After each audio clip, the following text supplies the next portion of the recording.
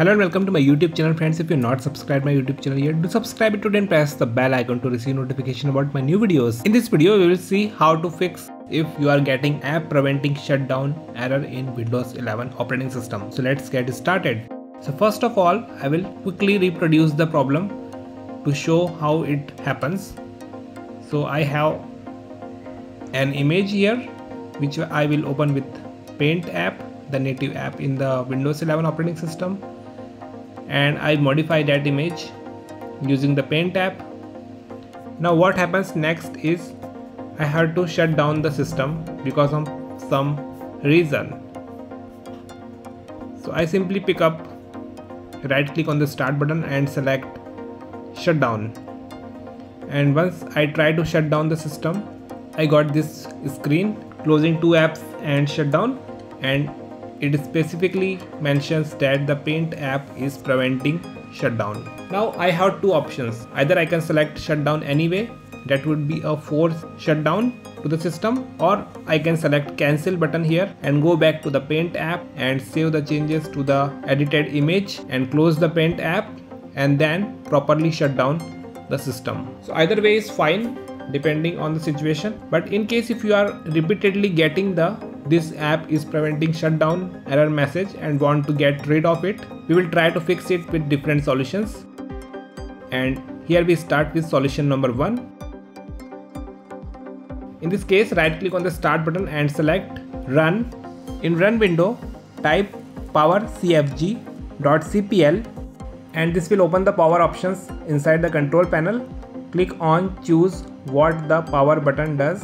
In the next window you can see that the shutdown settings options are grayed out. Scroll to the top again and click change settings that are currently unavailable. Now you can see that we can now configure shutdown settings options. And the very first option is turn on the fast startup. If you have this option checked i recommend to uncheck it and save the changes. And once we turn off the fast startup you can go back to the power options window close the control panel and restart your system and see if the issue is resolved with this. In case if the issue still persists, you can try solution number 2. In this case, we will modify some registry settings. Right click on the start button and select run. In run window type regedit and click OK. Click yes in the user account control confirmation prompt.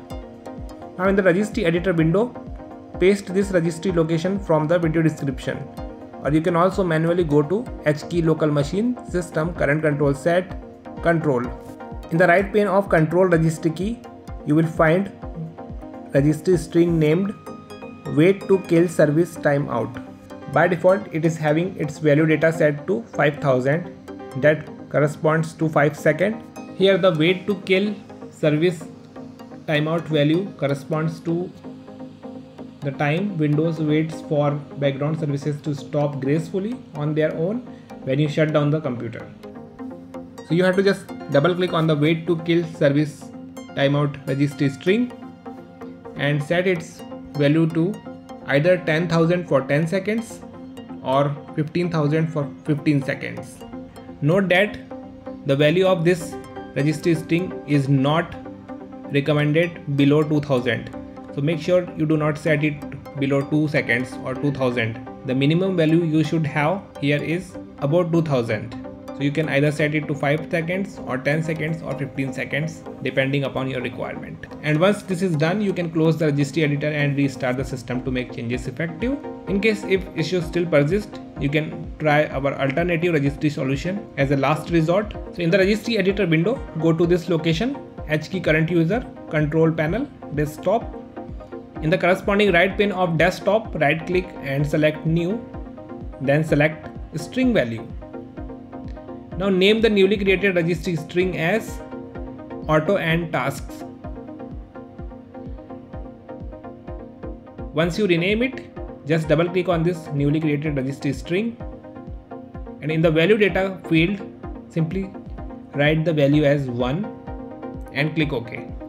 Once this is done, you can close the registry editor and restart your system and you will find that the issue has been resolved completely. In case if issue still persists, do let me know your comments. I'll be happy to help you. And that's it for now in this video. Thanks for watching it. If you found it helpful, do like it, share it, and don't forget to subscribe to my YouTube channel for more videos.